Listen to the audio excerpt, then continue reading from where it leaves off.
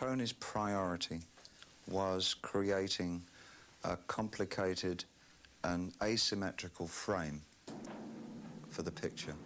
Uh, and the visual was nearly all of what he was doing.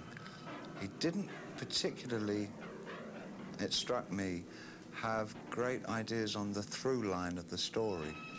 It was about moving one interesting visual against another.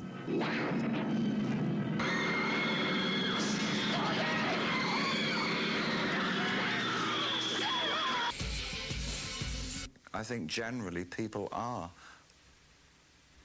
orientating themselves toward multi-perceptions.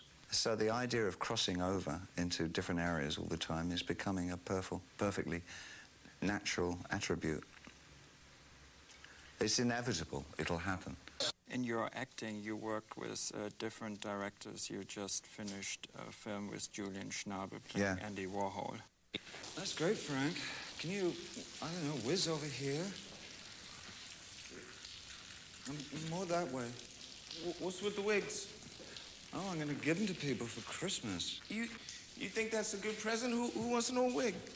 Yeah, sure. Oh, piss painting.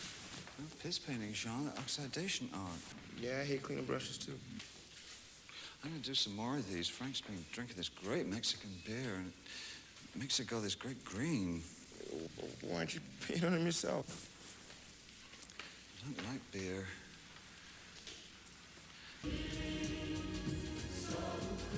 I'd like to see the boundaries between the art forms disappear.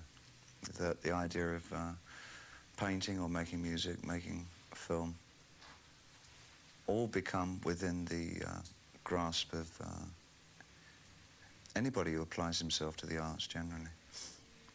I think it's happening to a certain extent. You get people like Julian Schnabel now making films. Damien Hirst is making videos. No, Why not? I don't have the time. There's no money in them. he said, uh, product plus personality equals brand. I thought that was really cool. And I think maybe I try and apply that to what I do. I guess in such a fast event society, we want our, we want our um, provocations and our confrontations immediately.